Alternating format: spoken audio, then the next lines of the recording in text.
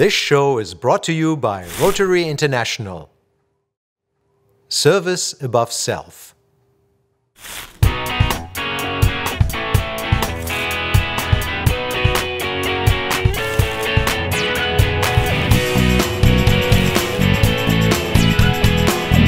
Heute ist Ahorn TV wieder für Sie unterwegs. Hallo und herzlich willkommen zu einer neuen Ausgabe von Ahorn TV. Diesmal aus Banff. Richtig gehört, Banff in den Rocky Mountains, direkt neben dem National Park, einem der meistbesuchten Parks auf der ganzen Welt. Wir werden hier aber weniger uns der Natur widmen als vielmehr den Medien. Hier ist in den nächsten Tagen das Banff Media Festival. Also, wie sehen die Medien derzeit aus? Wie werden sie in der Zukunft aussehen? Diesen Fragen wollen wir uns widmen. Wir wollen Prominenz aus der ganzen Welt begegnen, die dieser Branche beiwohnen. Und das Ganze findet hinter mir in dem berühmten Banff Fairmont Springs Hotel statt. Dort werden wir also die nächsten Tage verbringen und was wir dort also alles erfahren und erleben, das sehen Sie jetzt.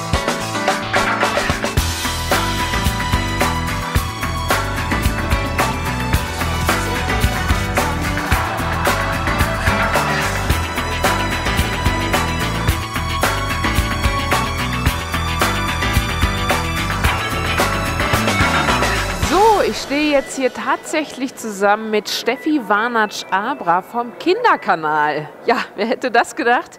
Hier in Banff treffen wir also wieder zusammen. Wir Deutschen kann man so sagen. Aber jetzt habe ich doch erstmal eine Frage. Was zieht denn den Kinderkanal nach Banff? Äh, na, die Rocky Awards ziehen uns oder holen uns hierher. Und da gibt es auch eine ganz konkrete Nominierung, habe ich gehört, ne? Richtig. Äh, und wir sind nicht nur nominiert, sondern wir haben ihn bekommen, den Rocky. Glückwunsch. danke, danke. Äh, für unser Magazin Erde in Zukunft und zwar in der Kategorie äh, Best Children Program Non-Fiction. Wow, und äh, wovon handelt das genau? Also Erde in Zukunft ist ein Magazin, recht kurz, nur zehn Minuten. Äh, Es wird wöchentlich ausgestrahlt und es geht um das große Gebiet Zukunft und Nachhaltigkeit. Und die Folge, die äh, hier nominiert wurde und gewonnen hat, äh, heißt Schnitzel ohne Schnitzel. Äh, und es geht darum, Schnitzel without Schnitzel hat man das übersetzt. und es geht darum, ja, unser, un, über unseren Fleischkonsum, dass wir eigentlich alle viel zu viel Fleisch essen und wir wollen den Kindern so ein bisschen erklären, was bedeutet das äh, nicht für die Gesundheit, für jeden Einzelnen, sondern eher für unsere Umwelt, äh, für die Welt insgesamt. Wir wollen jetzt allerdings nicht sagen, esst kein Fleisch mehr, weil das ist ungesund und die äh, äh, Nahrungsmittel wären knapp, sondern auf eine eher lustige, unterhaltsame Weise wollen wir erklären die Zusammenhänge dahinter. Okay, äh, ja, wenn man äh, schon mal so eine äh, Geschäftsreise unternehmen darf, äh, schaut man sich dann noch ein bisschen mehr an oder ist es wirklich jetzt nur drei Tage Banff Media Festival und ab zurück nach Erfurt? Also ich will unbedingt noch ein bisschen rumgucken und ein bisschen wandern oder, oder zumindest spazieren gehen, weil die Berge sind einfach toll. Ich bin das erste Mal in Kanada. Äh, Ich muss für meine Kinder unbedingt das einkaufen, die schreien alle schon, bringen was mit. Und äh, ja, aber ansonsten, morgen gibt es noch eine ganze Menge äh, Termine hier rund um Kids Animation. Da wollte ich mir ein paar Sachen noch anschauen. Ja, wir freuen uns drauf. Ganz herzlichen Dank für dieses Interview und äh, ja, wir schauen, was wir sonst noch alles entdecken hier in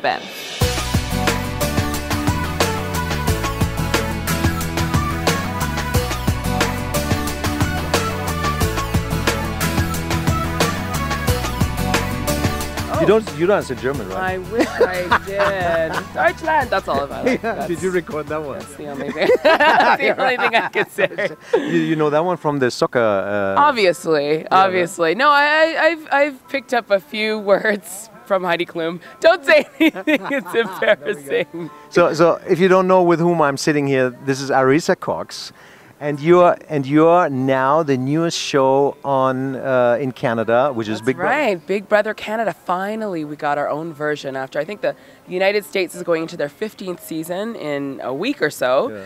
Um, and of course, it's been around the world and in Europe for years and years and years. Um, we're so grateful to have had such a great experience. It was the number one reality specialty show. Uh, in Canada, it was a huge success. We had millions of viewers. Um, and it was a big it was a big deal for us to finally get our own version.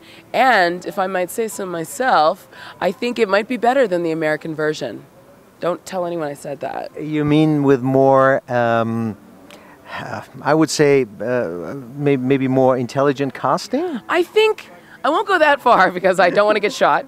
Um, but no, I think um, because Canada is sort of newer to the, the reality genre than, say, the States, I think people are pretty exhausted there. I think in Canada you can get real people who are firefighters and dairy farmers and teachers, whereas in the States it's kind of hard not to get bartenders and actors. And it's, you know, that's who floods their casting calls. So in Canada we could get some really, really great people. Now, be before we get to the whole Canadian side, um, wh where do you come from? Me, um, I'm born and raised in Toronto, mm. Ontario, Canada. Mm. Uh, my, my background is Trinidadian. Mm. Um, I went to a performing arts school, then I did a journalism degree, um, and I've been working in news and entertainment and reality for many, many years now. Um, but my first big break was on a reality show myself.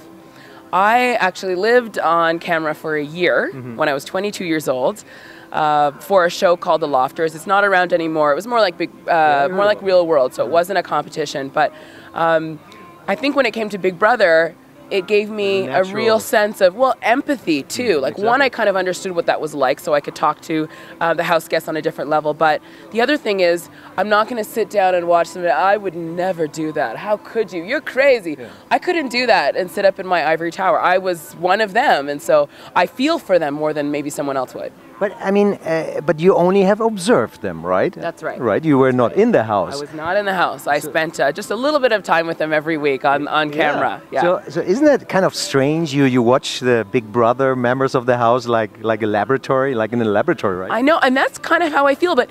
That's on one level. On the other level, I feel like they're my friends. Mm -hmm. Because if you watch the live feeds, and in Canada, all the live feeds were free. So you won't believe how many people were watching at night and feeling like they were hanging out with these people. And so even though I did feel a little bit like an evil mastermind, like yeah. an evil genius watching yeah. them uh, and giving them crazy challenges and twists and watching them roll with it. At the same time, I kind of felt like they were friends. So when they were all out, and after the crazy finale we had, and we were at the wrap party, I was afraid I was going to look at them like, oh my gosh, I think they're my friends, but they're really not my friends. But they were looking at me like that, even though mm. I spent so such a uh, small amount of time with them they really felt like they had a connection to me too. So that was kind of wonderful about it. And and it's Canada, so people aren't really out there like wanting to stab each other. I mean, generally people are pretty polite and lovely. So we didn't follow the whole last show. I mean, I, I just didn't have the time. Okay, so um, I'm just going to tell you about the finale, okay? okay great, because great. the finale was possibly one yeah. of the most exciting season finales yeah. of all time,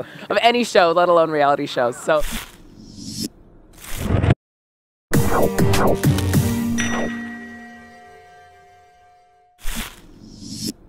So it was down to two participants. One, uh, um, a very pretty teacher from Nova Scotia, and the other, a very flamboyant gay character that everyone called Gary Glitter from Toronto, 21 years old. Like so the musician, down, Gary Glitter. Like, yeah, I mean, yeah. but just yeah. over the top, glitter, right? Yeah. Just beautiful glitter everywhere. Um, so it was down to these two. So at the at the end, you know, the the jury votes for who is going to uh, who's going to win at this point. So it was going to be a tight vote. It was obvious it was going to be a tight vote. It was going to be a five-four vote. Five four. So I'm reading I'm reading the, the votes. I'm reading the votes. Wait a second. One of Gary Glitter's biggest fans, his best friend in the house, made a mistake. She voted for the wrong person because all throughout the game you vote for the person you want to kick out. Exactly. She was so angry at Jillian the girl. She just would she had her little attitude to the camera and she made a mistake. So she instead voted for her arch enemy. You're kidding. Wow. Her best friend loses the game. She loses him $80,000 basically and gives it to her worst enemy. Yeah. I read them out. She puts her hand up. She says, No, that's a mistake. You guys are cheating. No. I want a do over. She gets up, leaves the jury box, comes over, looks at me in my yeah, eyes like yeah, this. Yeah. Arisa, don't do this to me. and I couldn't do anything. We couldn't redo anything. Yeah, I mean, it's it's the show. It is yeah, what it is. Yeah, so exactly. that it was a very dramatic moment. A lot of people thought she was gonna hit me. I knew she wasn't gonna hit me. But uh, as it was happening, just my it's brain. money in the game. I mean, absolutely, it's a lot of money. my earpiece was out. I had no idea what was happening. All I knew is that we videotaped everyone voting, so we were able to go to commercial. We came back. We showed her the videotape of her making the mistake, and that's just what it was. It so was she, pretty incredible. They're obviously no friends anymore.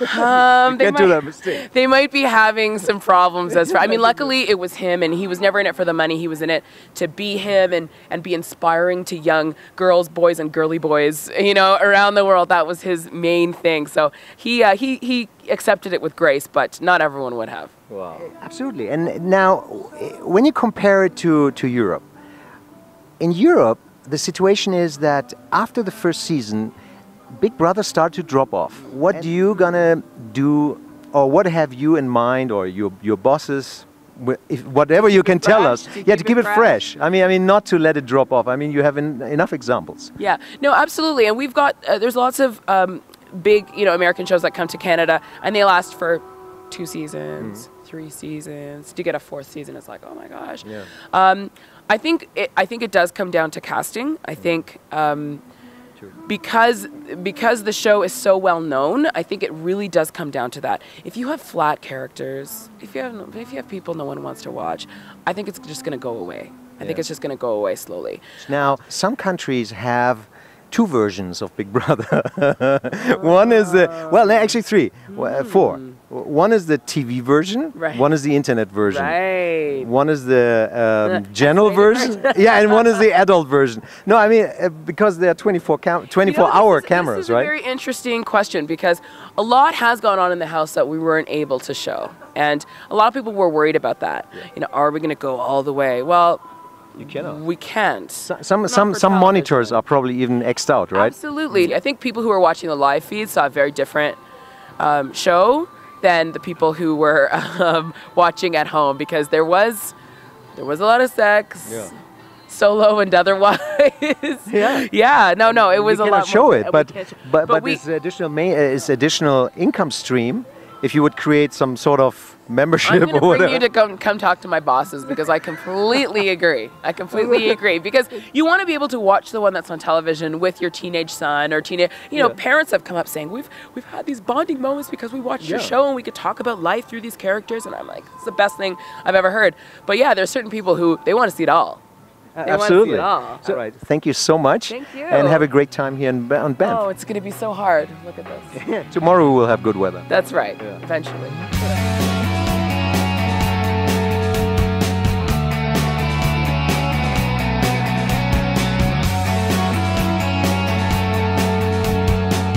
Ja, wir stehen jetzt hier mitten auf dem Media Festival, mitten in dem Gebäude vor dem sogenannten Oak Room.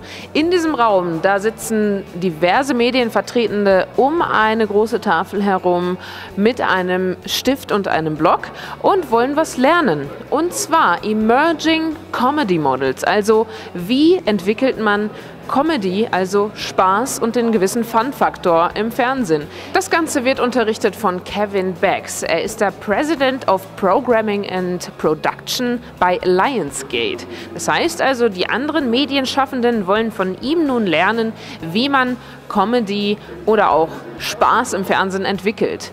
Da gibt er Tipps wie zum Beispiel, dass man nicht nur mit einem Piloten der ersten Folge pitchen sollte, sondern auch mit einem langen Skript, was dann äh, äh, die weiteren Folgen im Detail beschreibt. So meint er, kommt man also an Aufträge oder auch an den Sender, der das Ganze sendet, letztendlich ran. Und so, so und viele weitere Themen äh, werden hier also noch besprochen und wir schauen mal, was wir noch entdecken.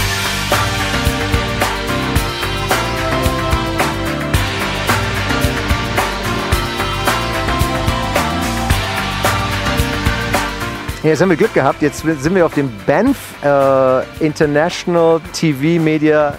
Band World Media Television Festival. Äh, Wie kommt es, dass du das so gut weißt? Ich bin seit zwei Tagen schon hier. Aber die ändern noch immer den Titel. Ja, keine ne? Ahnung. Letztes Jahr war das anders. Das ist auch dieses Mal Next Media statt Achilles oder Achilles oder wie auch immer. Oh mein Gott. Also, das ist übrigens Caroline Kusser und sie ist Senior VP von Red Arrow International. Das habe ich auch richtig gesagt. Absolut richtig. Ja, und du bist ähm, Red Arrow International ist eine, eine Firma von Pro7. Eine hundertprozentige Tochter der Pro7 Sat1 Media AG und gehört zur Red Arrow Entertainment Group. Die Red Arrow Entertainment Group ist headquartered sozusagen in Deutschland und ist, ich sage immer so, die Umbrella Organization für 18 Produktionsfirmen weltweit. Gibt es denn so eine Art Knowledge Transfer eigentlich auch Ja. zwischen äh, dass du viel einholst für Deutschland oder eher von, sind die Amerikaner bzw. Kanadier denn interessiert, was machen eigentlich die Deutschen wie sind die Deutschen dran?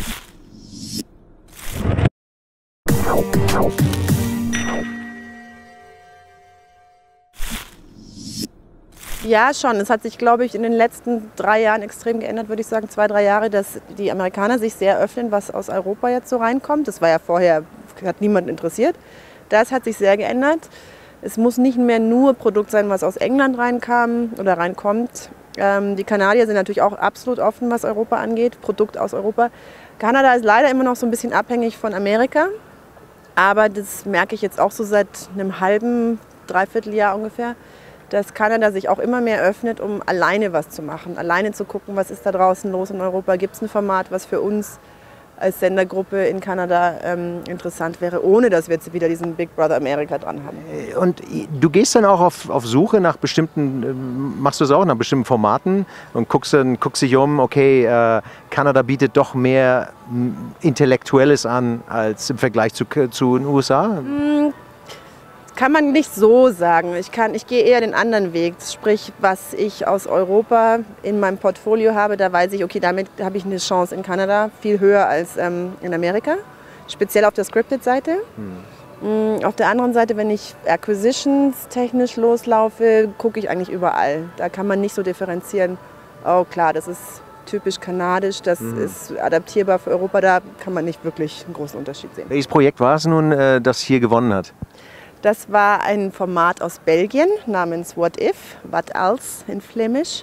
Es ist eine Comedy-Sketch-Show und das wurde kreiert und produziert von dem gleichen belgischen Produzenten, der auch Benidorm Bastards kreiert hat. Mhm. Sagt ihr vielleicht was? Benidorm Bastards haben ja. wir, genau, das sind die alten Leute, die junge Leute veräppeln. Ich hasse dieses komische Wort veräppeln.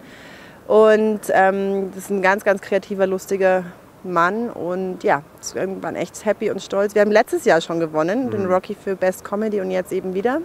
Letzte Woche oder vor zehn Tagen mittlerweile die Rose d'Or auch gewonnen mit dem Programm, mit dem Perfekt. Produkt. Und ja, ist für uns natürlich ein internationaler Sales-Erfolg auch. Das haben wir in einige Länder verkauft und wird auch lokal adaptiert. Also wir würden im Saloppendeutsch sagen ver A, ja, Punkt, Punkt, Punkt. Getraut, aber sagen, ja. das wird dann gebiebt, ne? deswegen genau. können wir es auch nicht sagen. Genau.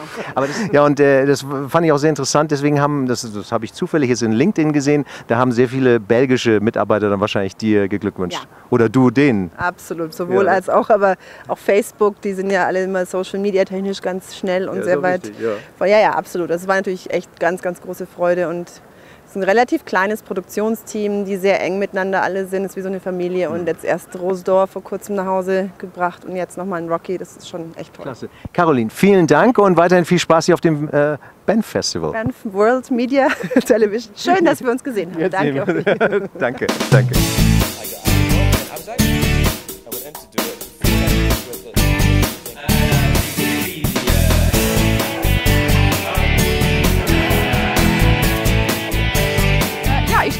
Tatsächlich zusammen mit Craig Ferguson. Es ist ein Wahnsinn, es ist awesome quasi. Und äh, man äh, kennt ihn nicht ganz so gut in Deutschland, aber maybe you introduce yourself for the German audience because you're not broadcasted on German television, are you?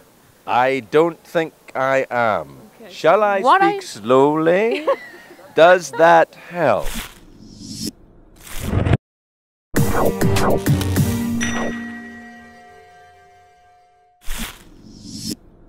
Uh, who are you? Uh, my name is Craig Ferguson. I work in American television. All right, and uh, you have the late late show, right? I do. I have the late late show. It's uh, it's on late at night, very late. But I'm always very nice about the people of Germany and their excellent products. Do you have sometimes German guests in your uh, show? Never. What about? yes, sometimes. Not a lot, but sometimes, yes. Have you talked to Arnie, Arnold Schwarzenegger? I mean, he's, he's Austrian. German. He's, Austrian. Austrian. That's very different. They're completely different things. It's yeah. like Scottish people and Irish people. Uh, uh, yeah, totally different. What's the difference? I mean, it's the same language, right? What? Yeah, what? Uh, German and Austrian? Yeah. Is it? Yes. then, great. All right, and uh, so Annie, maybe Til Schweiger. You know Til Schweiger? No, Kraftwerk. I'd love to have Kraftwerk on. Do you know who Kraftwerk are? You're not even German, are you? No. Kraftwerk are the great the seminal electronic band started in the 70s. Cra- Florian Schneider, Kraftwerk. You don't know about this? Hansa Studios, Berlin? No? What the hell? Have you been to Berlin? No, sadly, no. Well, I'm going there to record my Achtung Baby album, though. Right. Have you been to any other city or? I've been to Germany, yes. I have been to uh, Cologne. Oh yeah. I have been to um, I've been to Bavaria actually. Oh really? Yeah. Do you like it? Yeah, I did. Yeah, I was at, at Munich. Munich, We yeah. call it München. Yeah, that's right. right. And you have won the Sir Peter Ustinov Award. That's right. And uh, he has also a quite German connection, right? But, uh, I think he was Russian, wasn't he? but he was always on German television, always Oh, guest, and he speaks German. Yeah. Right. So, uh, Not anymore. was it? doesn't. You told us in the in uh, the event uh, some minutes ago. You told us that you have met him once. Is it true? Yes. So only for breakfast? Yeah, well, not for breakfast. He was having breakfast in a place I was having breakfast, and I said hello. And that's it. Yeah, or uh, guten Tag. So, and uh, some no, is, isn't a, horn? a horn? which is maple, Oh, like like like your flag. it's Right. not my flag. It's not my. Is it? Yeah, right. You're not Canadian. You No. You told it uh, several times. But I enjoy Canada and its excellent products. Oh. That was a nice last word to say. Thank you very much for the Ich interview. bin ein Berliner. Oh, awesome. Any other thing? Uh, auf Wiedersehen, Pet. And um, any more German, Diane? Any more German? Fahren, fahren, fahren auf der Autobahn. Wahnsinn. Ja, das war Craig Ferguson für Sie. Jetzt geht's mit anderen Programmen weiter.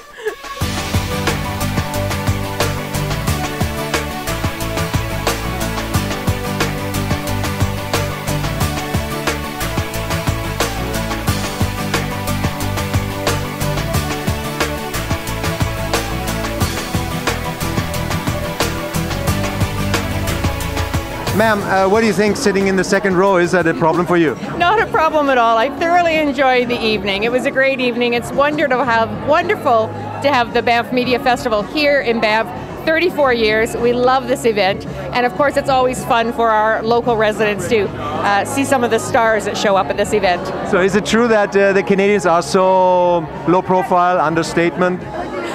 Well, I guess we are. I don't, you know, I don't really know. We know we are, but apparently, according to the rest of the world, we are. We're very appreciative of our country and where we live, and we're just happy to be Canadians. And I guess we are pretty humble about it. Now we have to get to Banff, of course. Yes, of course. A- And is Banff well visited by? Now we come from Germany, so I have to specifically ask. Yes, no, Germany is a large market for us. We love when the Germans come to visit. Of course, we've had a few tough years, as the entire world has had, in terms of the economy, but we're coming and we welcome all our European visitors. Uh, it's great when we uh, see our Europeans. And German, the German market is very strong, both in the winter and the summer. Germans love to ski and they love to uh, come and see our mountains and experience our wildlife and our, our resort.